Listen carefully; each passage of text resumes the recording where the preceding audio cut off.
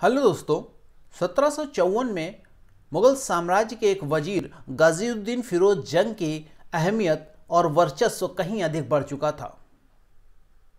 न सिर्फ़ वो शासन व्यवस्था को नियंत्रित करने लगा था, बल्कि वो शासक निर्माता की भूमिका में आ चुका था।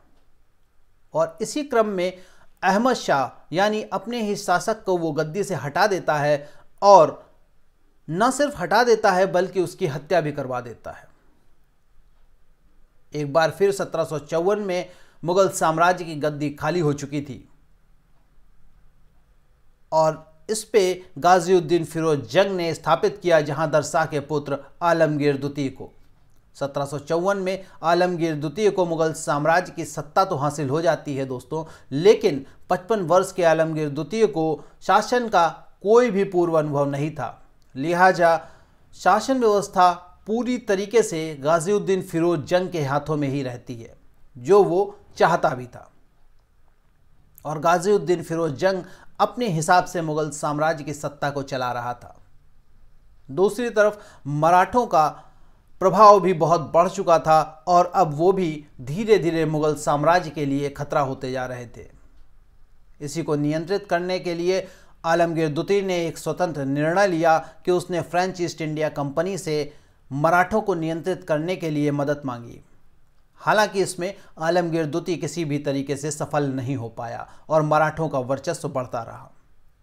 सत्रह सौ सत्तावन की एक प्रमुख घटना आती है सामने प्लासी का युद्ध। दोस्तों, इस युद्ध ने हिंदुस्तान में अंग्रेज़ों की नींव को मज़बूत किया और अंग्रेज़ों की स्थापना का क्रम आरंभ हो गया।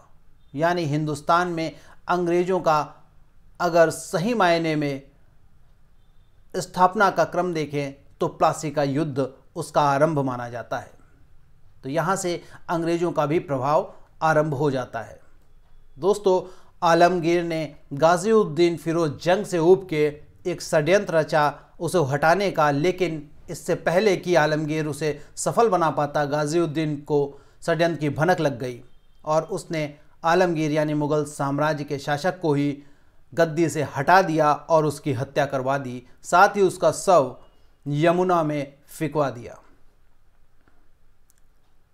दोस्तों, इसके बाद गाजीउद्दीन फिरोज जंग ने अपने प्रभाव का पूरा उपयोग किया और आलमगीर द्वितीय के ही पुत्र अली गौहर को शाह आलम की उपाधि के साथ गद्दी पर बिठा दिया। लेकिन मुगल साम्राज्य की सत्ता अपने ही हाथों में रखी। तो दोस्तों, ये कहानी थी आलमगीर द्वितीय की। नेक्स्ट वीडियो में हम लोग देखेंगे अली गौहर या शाह आलम के बारे में। बहुत बहुत धन्यवाद दोस्तों।